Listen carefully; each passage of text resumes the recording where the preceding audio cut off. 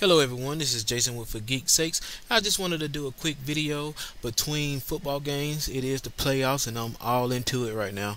Um, don't have a favorite team, but I have a favorite player, Peyton Manning. So if you guys are against him, I'm sorry. I like other players, but that's just my guy.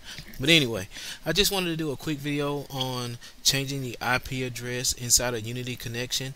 Uh, it's really simple, straightforward, so I'm just going to hop right to it what you need to do is to go down to system settings cluster hit find and when you find the IP address you just click on it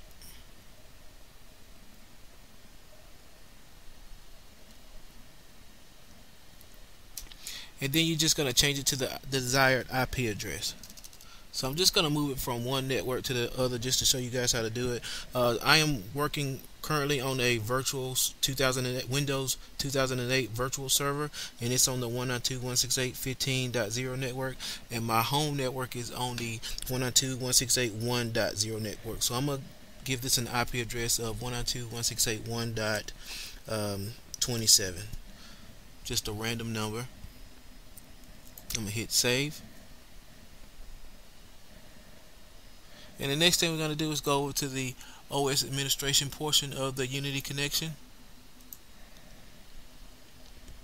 I'm going to log in.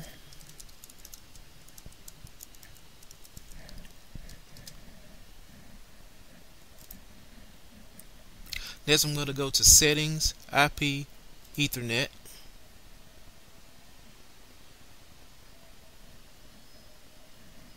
and I'm gonna do the same and change the IP address here so 15.1.27 and I'm gonna need to change the default gateway on mine and it just gives you a warning about changing the IP address and again, if you're running on a lab environment, it doesn't matter about affecting the license because you're on a demo license. So no matter what IP address you put, it is going to work the same because it's a demo.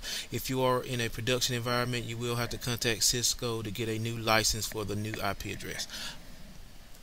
So I'm changing the host. I'm sorry, I'm changing the default gateway here to my 1.1 and hit save. Now once once I do this, the server will immediately restart. So we're going to pause right here and when I come back I'll log into the Unity connection on the 192.168.1.0 network. Alright, now that the server appears to be back up, let's go over to the web browser on the 192.168.1.0 network and try to log in to the Unity connection.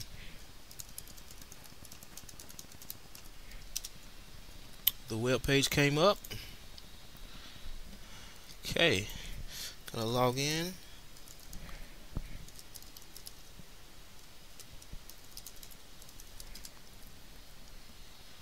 And the login is successful. Well, guys, that about wraps it up.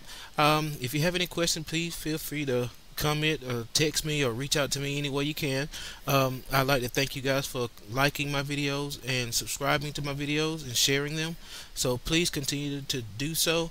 And I'd like to thank you once again for Geek Sakes.